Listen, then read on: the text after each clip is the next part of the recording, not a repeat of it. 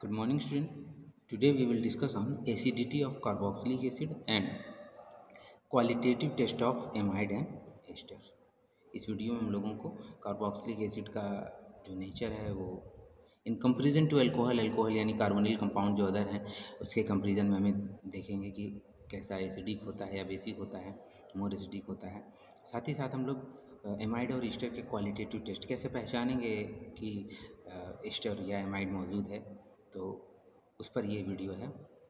तो let's start this video carboxylic acid के बारे में हम सभी जान चुके हैं। इससे पहले हम लोग इसका इंट्रोडक्शन सारी चीज़ें जान चुके हैं, लेकिन चूँकि एक बार फिर से आपको रिवाइज करा देते हैं, ताकि आगे की चीज़ें आपको समझने में आसानी रहे। Organic compound which contain the carboxyl function group are called as carboxylic acid the name carboxyl is derive from carbonyl C double bond O and hydroxyl O H. इन दोनों को मिला के बनाया गया है। Because in the carboxyl group this two groups are directly bonded to each other carboxyl का मतलब है कि कार्बोनिल और हाइड्रोक्सिल दोनों को मिला के कार्बोक्सिल बनाया गया है। इसमें ये दोनों यानी सी डबल बॉन्ड ओ और ओ एच दोनों एक दूसरे से जुड़े होते हैं। यहाँ पर आप इसको देख सकते हैं, R C double O H है या R C single bond, O H और double bond O. Carboxyl group are further classified as monocarboxylic acid di carboxylic acid and tri carboxylic acid यानी किसी कंपाउंड में एक कार्बोक्सिलिक ग्रुप प्रेजेंट है या दो कार्बोक्सिलिक ग्रुप प्रेजेंट है या तीन, इसके आधार पर उनको हम लोग mono di tri carboxylic acid compound कहते हैं। जैसे अमीनो एसिड इसका एक अच्छा एग्जांपल है। यहाँ पर जब बेसिक होता है, यानी बेसिक अमीनो एसिड होती है तो वहाँ पे कार्बोक्सिलिक एसिड जो होता है वो कम होता है मतलब सिंगल ही होता है। जो एसिडिक अमीनो एसिड आ जाता है तो वहाँ पे कार्बोक्सिलिक एसिड जो होता है वो ज़्यादा हो जाता है। यानी दो होते हैं, तीन होते हैं। The long chain monocarboxylic acid are commonly known as fatty acids जो सिंगल कार्बोक्सिलिक एसिड होते हैं लॉन्ग चेन दस, बारह इस तरीके की चेन कंटेनिंग जो मोनोकार्बोक्सिलिक एसिड होते हैं, उन्हें हम फैटी एसिड के नाम से जानते हैं।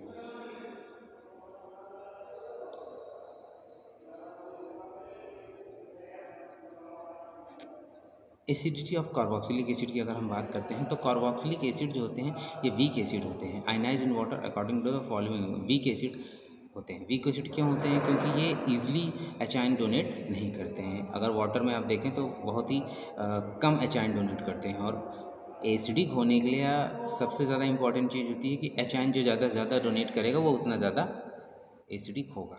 यहाँ पर आप इसका इक्विलिब्रियम कांस्टेंट अगर आप निकालें equilibrium constant about the reaction जो है R C double bond O S three O Le Chatelier के नियम से निकाला गया है तो यहाँ पे जो के वैल्यू ऑफ़ कार्बोक्सिलिक एसिड है मतलब जो आयोनाइजेशन कांस्टेंट है कार्बोक्सिलिक एसिड का, वो टेन की पॉइंट टेन की पावर माइनस फोर से टेन की पावर माइनस फाइव के फाइव के बीच में है।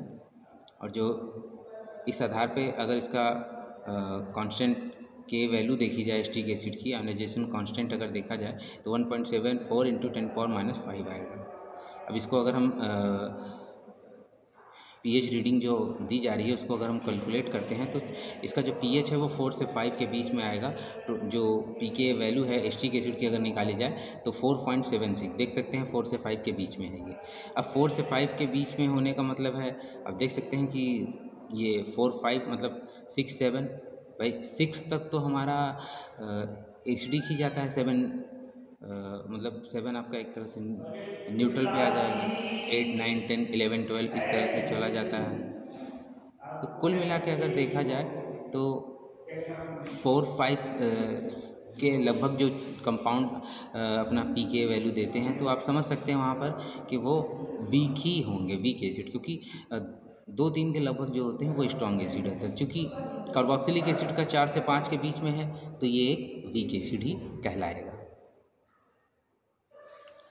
अब क्यों ये एसिडिक होता है या इसका जब तुलना किया जाएगा तो क्यों होगा?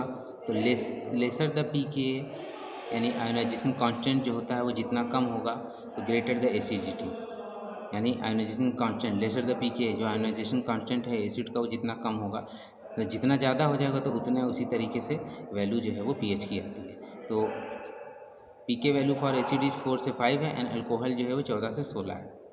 तो अब आप देख सकते हैं कि इसका पीएच जो होगा चौदह सोलह के बीच में पड़ेगा अल्कोहल का और एसिड जो है उसका चार से पाँच के बीच में पड़ेगा। तो इस आधार पे भी आप देखें तो ये क्या होता है? कम एसिडिक होता है और वो अल्कोहल बेसिक होता है। Ionisation of carboxylic acid leads to delocalisation और shifting of negative charge from one oxygen to another हैं separation and creation of unlike charge to produce force drive to ionise तो इस जब भी इसमें डिग्लोकलाइजेशन होता है तो जो कार्बोक्सिलिक ग्रुप होते हैं, कार्बोक्सिलिक एसिड जो है, उसमें आप देख सकते हैं, एक ऑक्सीजन इधर होता है, एक ऑक्सीजन उधर होता है। तो चेंज होता है, ठीक है? शिफ्टिंग ऑफ़ निगेटिव चार्ज जो होता है, एक ऑक्सीजन से दूसरे ऑक्सीजन पे शिफ्ट होता है और नया चार्ज जो होता है, क्रिएट होता है। So equilibrium shifted to right side and carboxylic acid ionise fastly than alcohol और इस वजह से जो अल्कोहल है, उसकी तुलना में अगर देखेंगे तो ये बहुत तेज़ी से आयोनाइज होता है। अच्छा जब आयोनाइज होने का मतलब है कि वो एसिडिक हो रहा है क्योंकि उसमें ओ OH है और शिफ्ट हो रहा है एच आयन ही वो प्रोड्यूस कर रहा है। Ionisation of alcohol to produce an ion there is no delocalisation of alcohol to produce an ion and there is no delocalisation of charge and hence ionise is slowly and equilibrium shifted to left अगर alcohol को हम देखें तो वहाँ पर जो delocalisation होता है एनायन प्रोड्यूस करता है एनायन निगेटिव चार्ज होता है, मगर डीलोकलाइजेशन ऑफ़ चार्ज जो होता है, वहाँ नहीं होता है। और इसकी वजह से वो आयनाइज जो होता है, वो स्लोली होता है और इक्विलिब्रियम जो होती है, वो लेफ़्ट की तरफ़ शिफ्ट होती है। ठीक है? तो इस तरीके से अल्कोहल की तुलना में अगर आप देखेंगे तो कार्बोक्सिलिक एसिड जो होता है, वो ज़्यादा एसिडिक होता है। और इंडक्टिव इफ़ेक्ट हम लोगों ने इससे पहले के वीडियो में देखा है, आप एक बार इंडक्टिव इफ़ेक्ट को और अच्छे से पढ़ लें। इंडक्टिव इफ़ेक्ट जो ये उसमें बताता है कि इलेक्ट्रॉन जो विड्रॉइंग ग्रुप होता है, उसकी वजह से भी एसिडिटी जो है वो इंटरफियर होती है। अल्कोहल में वो कम है और कार्बोक्सिलिक एसिड में वो चीज़ ज़्यादा है। इलेक्ट्रॉन विड्रॉइंग ग्रुप तो आप समझ सकते हैं। उसकी वजह से भी कार्बोक्सिलिक एसिड जो है वो अल्कोहल से मोर एसिडिक होता है।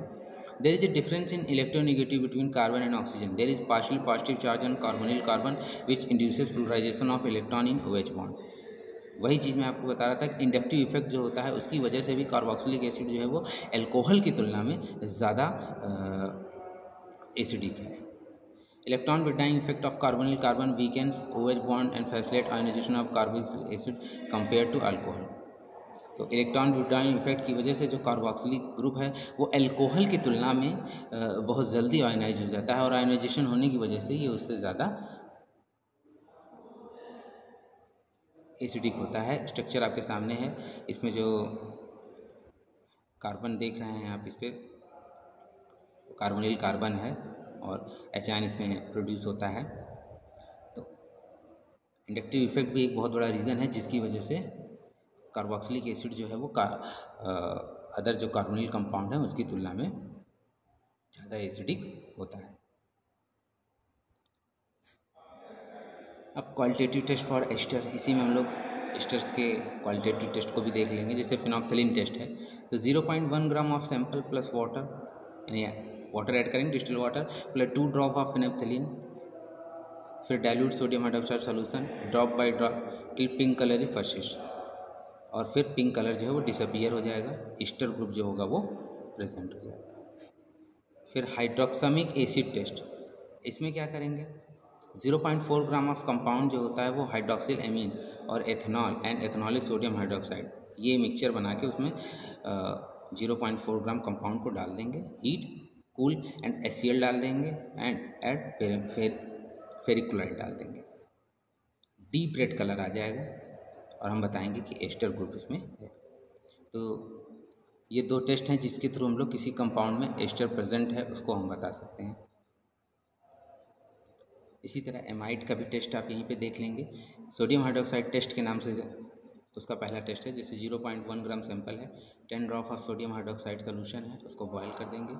एवेलेशन ऑफ़ अमोनिया अमोनिया निकलेगी, जो कि टर्मरिक पेपर को रेड कलर में चेंज कर देगी। Amide is present. हम कह सकते हैं कि उसमें एमाइड प्रेजेंट है।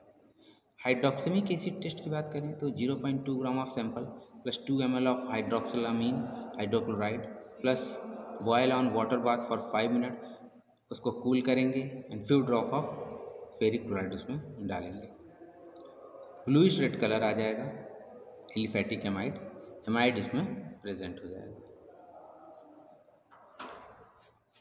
इसके बाद देखिए नाइट्रस एसिड टेस्ट है। इसमें zero point two gram of sample है plus two M L of dilute S है। उसमें फिर सोडियम नाइट्रेट डाल देंगे दो M L brisk effervescence due to evolution of nitrogen nitrogen gas evaluate होगी, उसमें से निकलेगी बबल्स के रूप में। एमाइड को हम लोग कहेंगे कि एमाइड कन्फर्म है एमाइड है इसमें। लास्ट टेस्ट है hydrogen peroxide test zero point two gram of sample plus one M of water and eight seven to eight drop of hydrogen peroxide heat करेंगे जब तक वो बॉयल ना हो जाए कूल फिर add drops of S F three one to two drop F three डालेंगे blue colour आ जाएगा.